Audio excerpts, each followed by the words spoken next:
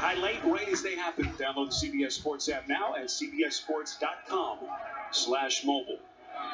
Well, anyone who thought that uh, John Harbaugh's Ravens have nothing to play for, think again.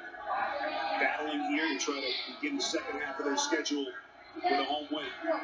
Blake Bortles once again in the fourth quarter has to avoid that late game interception that we talked about coming in to today's game. Play action from Bortles, first and 10.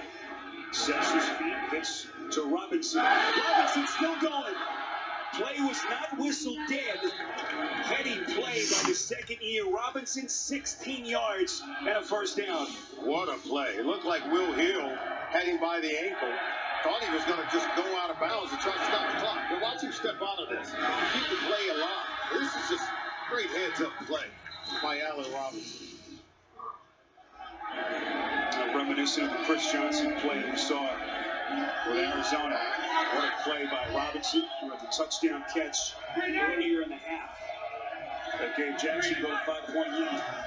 First and 10, here's Yeldon. Here's the initial tackle by Duvernay. Oh, he's still going.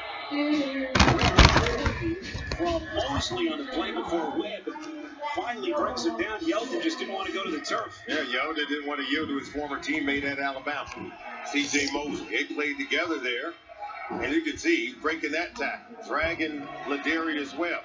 And right now, if I'm the Jacksonville Jaguars, obviously you want to convert, you want to move the ball in, try to get into field goal range. I'm trying to take as much time off the clock as I possibly can on this drive. Second and 12, Bortles completes to Yeldon. We spoke to C.J. Mosley, who makes the tackle. He said that this game was personal. Not only did they play together at Alabama, they grew up right next to each other just outside Mobile. Met in a high school game at Yeldon won. A lot of history between those two. A lot you like about You got that on television. Very poised. I'm I'm videoing the game.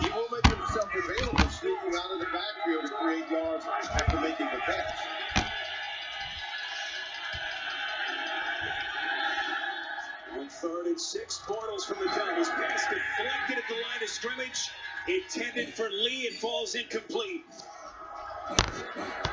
Is that Zachary Orr, 54, that tipped this pass at the line of scrimmage as Bortles?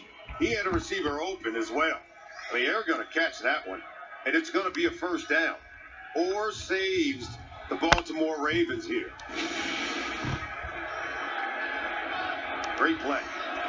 Orr whom the Ravens brought into the league before last season, undrafted out of North Texas. What a play by the 23-year-old linebacker. This punt goes through the end zone as Flacco and company will take over from